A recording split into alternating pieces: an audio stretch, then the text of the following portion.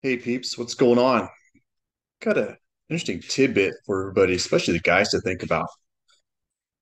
That anytime you put a woman as a center of your uni- universe or you make her your project, she's going to eventually leave you. And why is that? It's simple. Once you vacate the things that you enjoy the most and devote all your time and attention to her, that's a whole level of being needy and clingy. But uh, just a little something for everybody to think about, especially the guys that are currently dating, looking to get into a relationship, out there chasing the girls on the dating market. Take that advice. Um, I just got done watching an episode of Terrence Popp. If you don't know who that is, very popular YouTube channel. He's very big in the red pill community. He's saved over, let's say, close to 550 lives since he started his YouTube channel. Great guy, um, very knowledgeable, likes to talk about administrative violence. Go check at his channel, Terrence Popp, easy search. But today I want to talk about I've got a field report that came in last night and into this morning. Been talking with a friend of mine. He's out there on the dating market, trying to get a girl's uh wants to have a long term relationship with a woman, which I think, hey, that's that's great. If you can do that, awesome, more power to you. But he knows as well as I know, and a lot of guys know that the dating market is a cesspool shithole. I look at it as the top 10 to 15 guys are over here, and the top 10 to 15 percent of the girls are are far apart. And in between that, two groups of people that are trying to find each other is the cesspool dating market, just flooded with disgusting, fat, nasty looking people. And these two groups of people up here cannot see each other to make a connection because of the swamp that's between them. You got uh, 100% of the girls vying for the top 10 or 15% of the guys, and same thing with the girls. You got the top 10% of women, and you got all 100% of the men vying to get those top 10 to 15% of the women. Okay. I believe there's a top 10 to 15% in each sex. And it's just these people are having a hard time finding each other to make that mutual connection, form that bond. Because in reality, if you're a man who wants to date a woman that's fat, obese, she's a slob, she's got baggage, you know, we're talking about like your single mothers, we're talking about women with BPD, other mental disorders, we're talking about um, addictions to alcohol, drugs, prescription pills, what have you, and uh, and the list goes on and on. You know, numerous pets. You know, we gotta save the animals. We gotta save you know your liberal women, your democratic women, and same thing for the guys. We're looking at the same traits. You know, guys are out there getting fat, obese. They're not out there in the gym. They're not doing the work. They're not being desirable for for the girls. Uh. So again, you got you got a small group of both sexes rising to the occasion, but yet because the swamp is so full of undesirables, these two groups of people are having a hard time finding each other. And and in my my buddy's particular case, he met a girl on Facebook dating. So he's telling me about this girl, gives me her name, her age. I'm not going to put her name out here, but she's a 38 year old woman single mother, don't know the age of the kid exactly. She hasn't gone into that with him, but they uh, matched on Facebook dating the other day. They start chatting it up. They start talking about, you know, of course, in her profile, she indicates she's looking for a long term partner. Okay. And I got to read some of the chat. I didn't get into in depth of it, but toward the end of their conversation, and and actually, she unmatches from him. Okay. So she asks, you know, hey, what are you looking for? And he says, well, I'm looking for short term to possibly long term, depending on if the woman is qualified to go long term. You know, he's one of these guys that watches other YouTube channels, gets advice from other guys, and and is actually applying that knowledge into his own dating life. And why not? It you know, you'll cover your ass that way. But anyway, so she's like, okay, um, so do you are you looking for like sex and and all that? And he's like, well, that's part of the the dating, you know, the sex and intimacy has to be there. And one thing that he's learned through his red pill conditioning was that, you know, women must have a strong, burning, genuine desire for you. And they know that when they first meet you. It doesn't have to necessarily be online. I mean, it it's a lot different. When you meet a woman in person, she will know right away, and if not very soon, if she is genuinely attracted to you. Okay. So as they're commuting back and forth, they're expressing their goals, what their long-term ambitions are. And for him, he would like to be in a long-term committed relationship with somebody. But like I said, again, it's the top 15% of men and the top 15% of women are are are rise to the occasion. But in between that, those two groups of people is the the swamp of disgusting, undesirable people. So he's laying down what he's looking for. You know, I want a woman that's, you know, I tell guys to look for women that are fit, feminine, friendly, faithful, and fun. And you can replace fun if you're below the age of 35. You can replace fun with fertile. Okay, for me, it's I I, I choose fun. Guys my age shouldn't be looking at having kids. I think we're too damn old for that nonsense. And so he pretty much tells her, you know, I'm, I'm looking for a woman that wants to build. I don't want a woman that's a wrecking ball. She's got to be fit, feminine, friendly, faithful, fun. And he's rattling all that off to her. And she replies back, Oh, I see. And she goes on to say, Well, you know, what I'm really looking for is a guy that pretty much looking for a man in the top top 10 to 15 percent when you read the when you read what she's saying to him. But in the end of her statement, she goes on to say, "Well, I'm not willing to, to be intimate or sexual with anybody unless uh, unless our relationship goals and intentions are aligned." So that tells me, right? So he's telling me this stuff, and I actually read it, and I said, you know, she wants to withhold sex from you until you can give her some sort of verbal agreement that you will that you will agree to enter into a relationship with her. She wants assurances that you're going to enter into a long-term commitment before the sex and intimacy even starts. And that's that's bullshit. That's a red flag right there because that's saying that's telling me right there that anytime you have sex with this woman, it's going to be transactional. So if you agree to a long-term commitment with this woman, you're pretty much agreeing to a transactional relationship. We're moving, you know, moving forward. And what that entails is okay. So you agree, yeah, yeah, I'd, I'd like to be in a long-term relationship, but you don't get to test drive the car first. It's like going to a car lot and not test driving a vehicle before you buy it. You don't know if you're buying a lemon or not. You're taking a chance. And so, anyways, with this situation, you might date this girl five, six, seven, eight, nine, or ten times, and not have sex with her until you can give her a almost a verbal agreement saying, "Yeah, I'm gonna, I'm ready to enter that long term relationship with you," and then she'll have sex with you. It's transactional. If you give her what she wants, then she'll give you what you want, and that's not how that works. And even though she typed that in there, I told this guy, I said I would give her. Here's what I'd tell her you know, and this guy's easily in the top 10, 15%. He's not a bad looking guy. He works hard, goes to the gym, does the work. His height alone, I mean, he's six foot two, six foot three.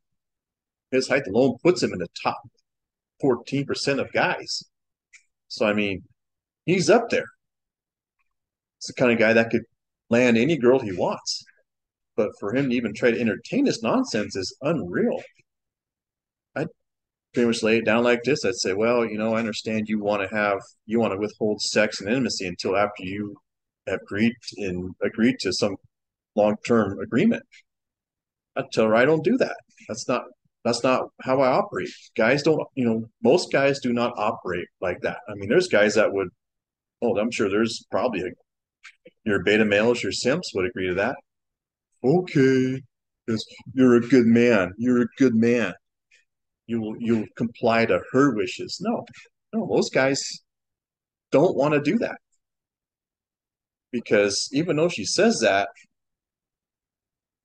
here's also what I told him. I said, "Here, tell, ask her this. Ask her, would you sleep with Jason Momoa on the first date, or would you make him wait until there was some kind of guarantee of a relationship? You know, relationship goals or whatever are lying. Ask her if she would do that." And he did, and of course, she never answered, and she immediately read what he read his answer, and then immediately unmatched from him. So she never gave a reply. So I said, "Well, exactly." Because if she goes, if you agreed to meet her at one of the local coffee shops or for a drink somewhere, even though she said that, if she deems you to be in the top 10 or 15% of men, she's going to break all those rules because she's going to look at you as the alpha guy, the Chad. Okay. You're Chad, and she'll want to bang your bones after you guys have your coffee or your drink. It could be at your place or her place, but she's going to want to want to jump your bones right down the first date. She's not going to wait to find out later if you're the one. If she deems you're the one, if you are at her level or point or two higher in the SMV, sexual market value, she's going to want to bang you right now. And she's going to, and she'll decide if you're that kind of guy immediately on the first date. You walk into Starbucks or wherever, you walk into the local bar and you meet there and you sit down, order drinks, you sit down and start talking right there. She's going to assess because her hypergamous radar is always on. She is there immediately assessing you on the spot, making sure you are the guy. You're it. And when she decides you're it, that genuine desire is there. There's what she says in her profile is pretty much a negotiation of genuine burn desire. What act, what she'll actually do and how she behaves on that first date is going to be completely different than what she says in her profile. Guys, keep that in mind. What women say and what they do are two completely different things. What they'll put in a profile and what actually how they behave. If you're the guy, if you're the Chad, they're going to fuck your brains out on the first date. And if for some reason they're not having sex with you on the first date, which is no biggie.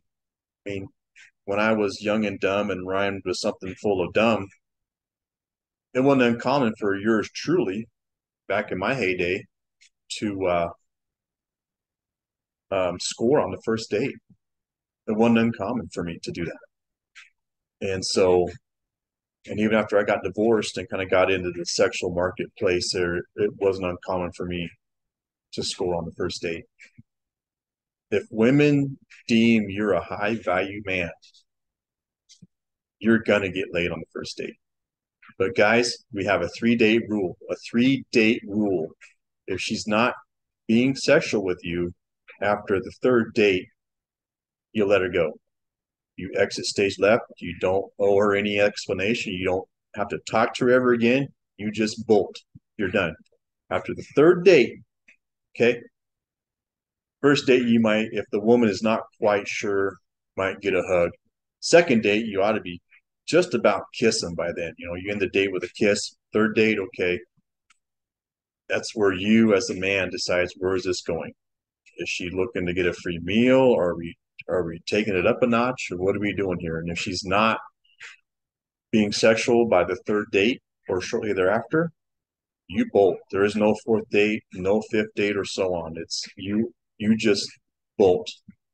And if you're a guy of high value, you have other girls in the pipeline waiting for your. Um, they're waiting for you. Okay, if you're chatting up, as guys should, you should be talking to multiple girls. If you're out there online dating, or if you're out there meeting them out in the town, you should have three or four girls in your phone waiting and willing to date you at a moment's notice.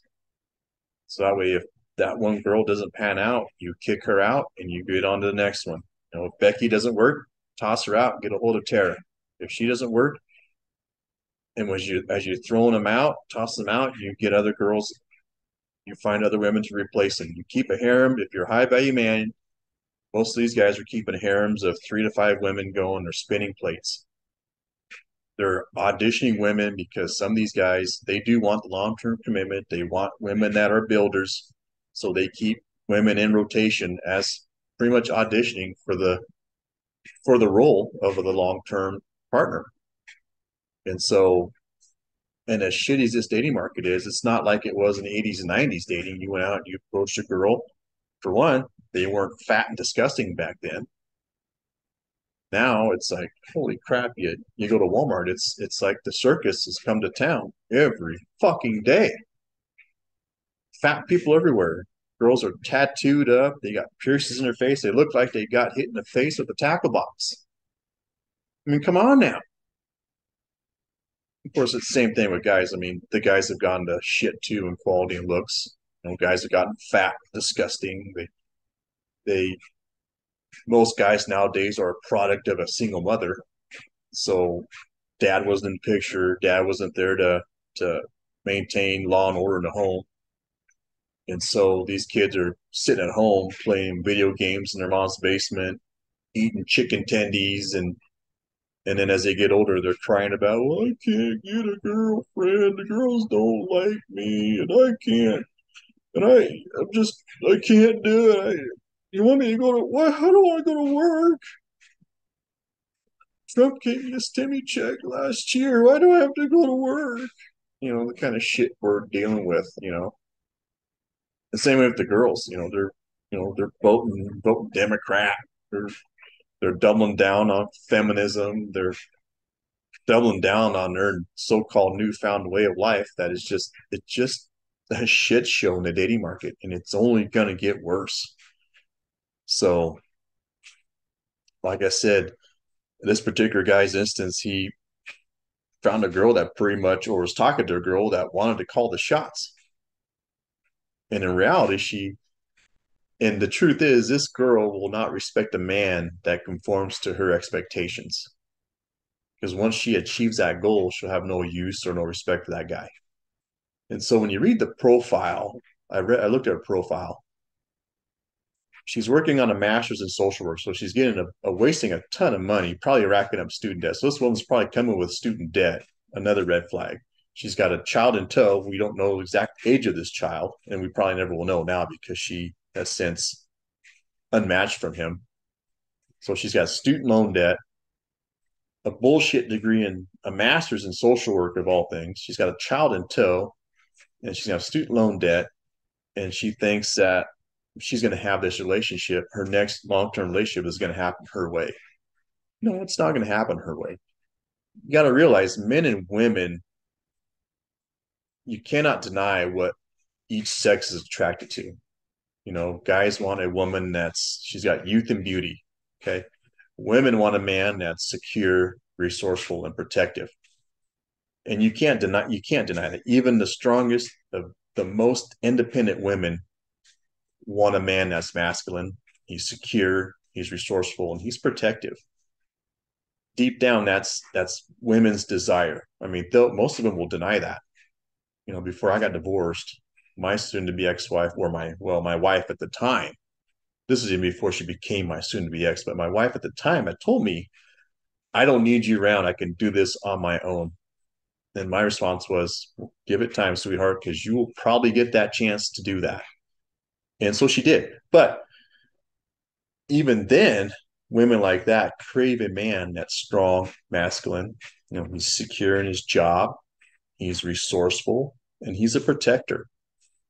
Deep down, that's what women want. I mean, they're going to deny that until they until they saddle up with that beta male who puts them as a as their as their project. They put that woman, they put on a pedestal, they praise her, they they literally drive her nuts with love bombing and all all that other kinds of insanity that she eventually can't stand him because he's more annoying than anything.